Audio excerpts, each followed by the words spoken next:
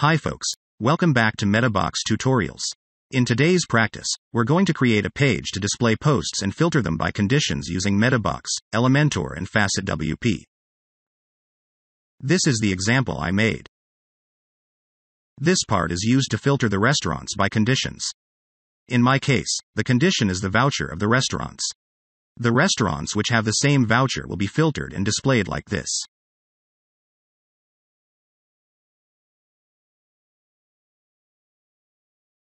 We'll create this part using FacetWP. We'll display all the information of the restaurant such as name, image, address and voucher which we used as a condition to filter posts. And, this page is built in Elementor. Since we will build this page using Elementor, we need Elementor first. And, we use Elementor Pro which has integrated with MetaBox. I also installed Elementor Custom Skin to have loop to display the listing of posts. We also create a section to filter the vouchers, so I have FacetWP here to do it. As I said above, we need MetaBox to have a framework to create custom post types and custom fields. It's free on WordPress.org, so you just need to install it directly as usual. We also need some MetaBox extensions to have advanced features.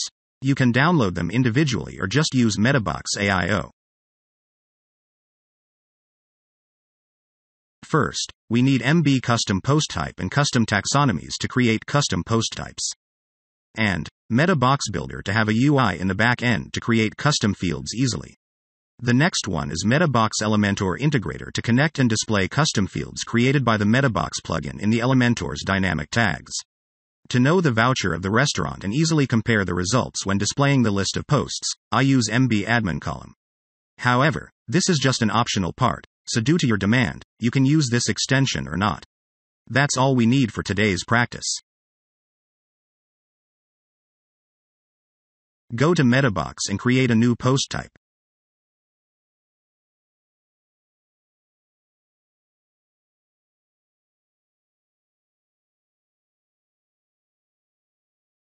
Then, in the admin dashboard, you will see a restaurant menu here. Let's create custom fields. Here are all the fields that I created. They are just simple fields, so just create them as usual. Go to MetaBox, Custom Fields to create a new field group.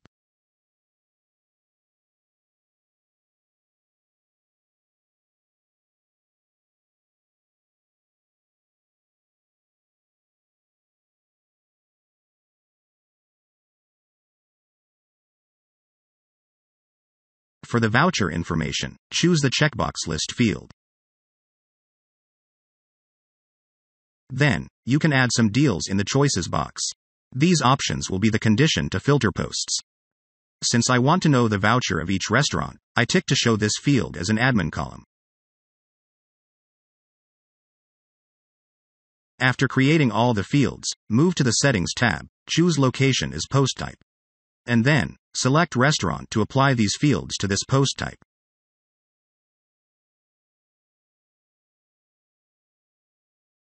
Now, you will see all the created custom fields when creating a new post in Restaurant post type. Just fill in the data. These are the posts that I created as an example. You can easily see the coupon of each restaurant in a column like this. We'll have a list of restaurants, so we should choose the template as a loop. Go to Templates, Theme Builder, and choose Loop.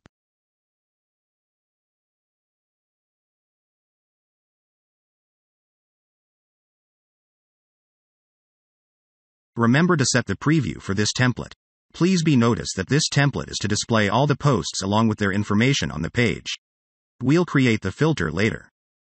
Since the image and name of the restaurant are the featured image and title of the post, add the featured image element. And then, add the post title element. For the address of the restaurant, add the text editor element. To get the restaurant's addresses saved in a custom field created by MetaBox, let's use the dynamic tags. Since we saved all the custom fields for post, choose Meta box fields in the post section. Then select the address field. Then, you'll see the address of the restaurant displayed immediately and correctly. For the voucher information, do likewise.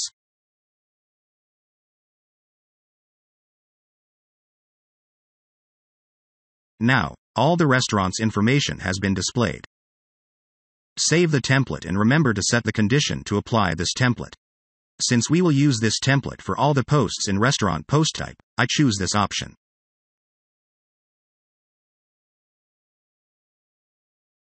Now, let's create a new page.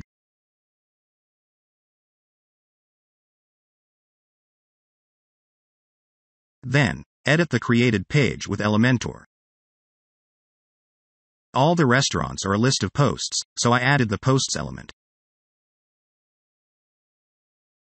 Since I have Elementor custom skin to create a template for the restaurant, I have some settings here.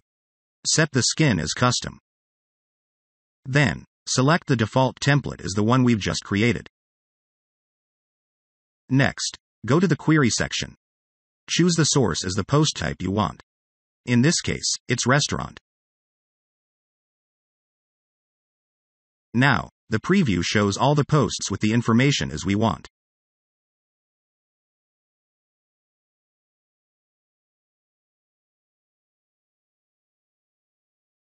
Let's see how to add a filter section in the next step. We'll use FacetWP to create a section like this. In the admin dashboard, go to Settings and choose FacetWP to create a new filter.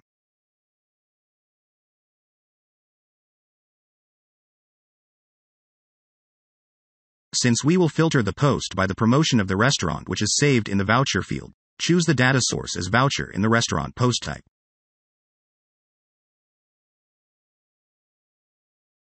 Save the changes and copy the shortcode of the facet. Then, go back to the Elementor Visual Builder. Add a shortcode element to paste the code we've just copied. Apply the code.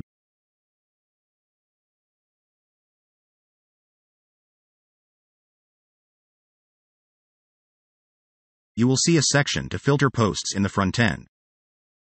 All the restaurants having the same coupons are filtered correctly.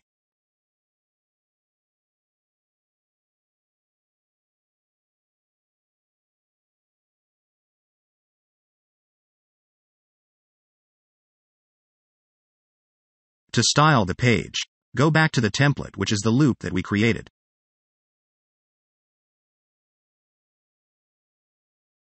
After that, you can style each element. Here, I just do it for example.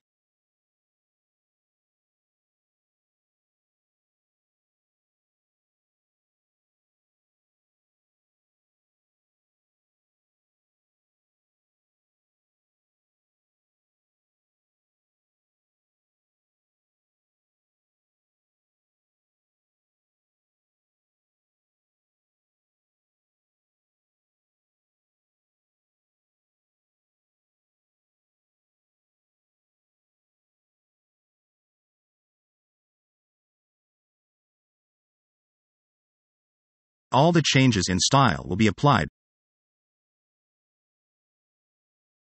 This is how it looks in the front end. The filter section created by FacetWP works well and all the posts have been filtered. That's the end of today's tutorial. If you want to try other methods, please watch our other tutorials on this channel. Remember to like, share, and subscribe us for more tutorials. Bye.